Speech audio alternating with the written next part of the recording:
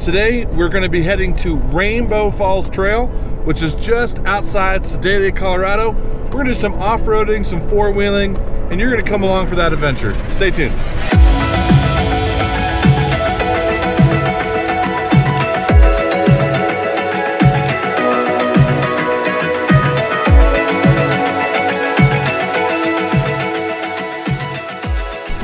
So we recently bought ourselves a four-wheeler and a 5x8 trailer. Now, it was not something that we had planned to do, but it's something that I personally have always wanted to have. I've always enjoyed going off-road, um, both from a off-road four-wheeler standpoint, but I love getting on the water and using Sea-Doos, things like that, just those small pieces of power like excite me. They're so much fun and they bring me a lot of life. They refill my tank when I am exhausted after a long week. And so we made the plunge. We bought ourselves a four-wheeler and a trailer. Now, we do have plans for this trailer. So we just bought a simple 5x8 carry-on trailer, uh, which is just a basic trailer, but we are going to outfit it for overlanding. So our plan is we're going to upgrade the, the wheels and tires. We're gonna, at some point, upgrade the axle and suspension.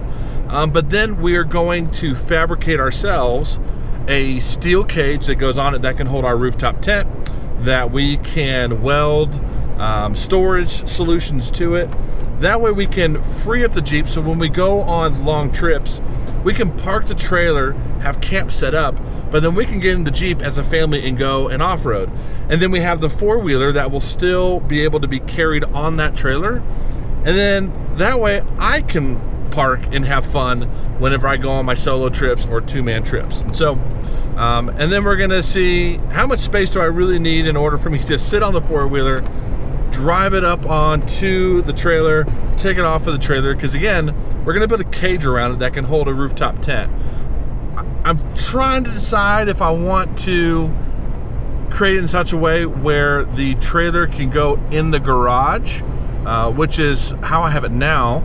So I need to figure out how I make the, the tent platform something that can essentially be on a hydraulic system to where I can drop it down and lift it back up again. So trying to figure that out. We'll see.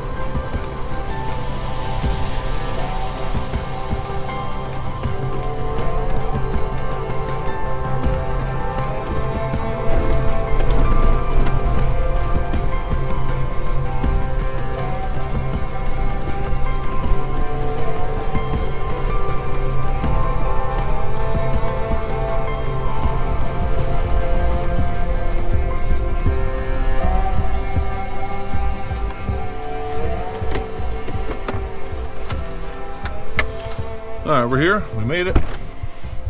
Let's go. All right, I'm here with my buddy Evan. We're gonna hit the trails here in just a minute, but let me show you the trailer and the four-wheeler that we're gonna be going with. So, this is the Tracker 700 EPS with that 5x8 carry on trailer I was talking about.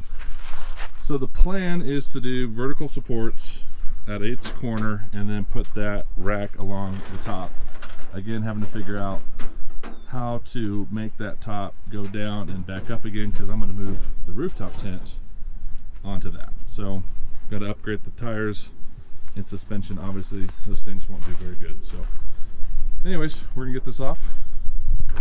We're gonna get going.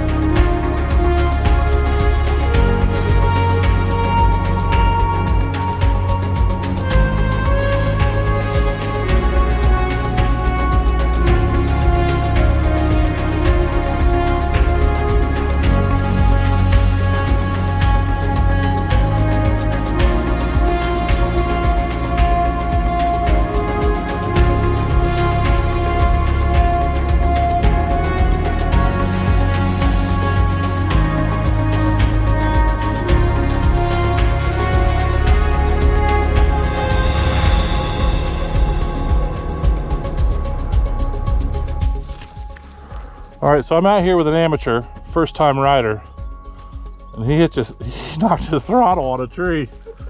and now his bike won't go. But at least we're out here Whoa, in just go too fast. Beautiful.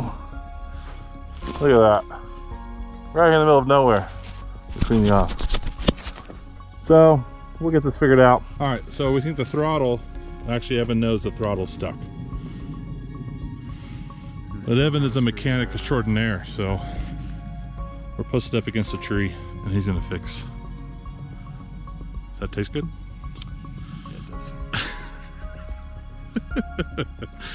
All right, let's get this fixed and get on the road. All right, he's working. He took off without me. Let's go.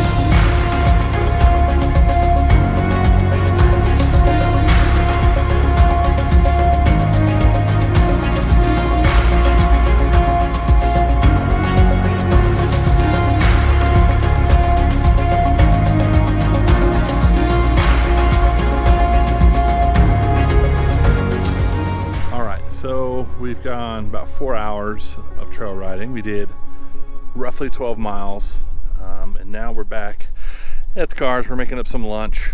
Um, now, don't judge, but this is actually really freaking good. So what we have is spam, ramen, and once the spam is done, we're gonna cook a couple eggs, and then you put it all together. So ramen, and then spam, and then eggs. Surprisingly really good. I've never had spam before, but Evan got me hooked on this meal when we went on a camping trip. It's phenomenal. You should give it a try. Um, but yeah, we're gonna eat and have a drink. And then we got about five more hours of trail riding to go. All right, so I told you not to judge, but this is it right here. Look at that. You got your eggs, your spam, and your ramen. It's incredible. Give it a shot. I encourage you, you won't regret it.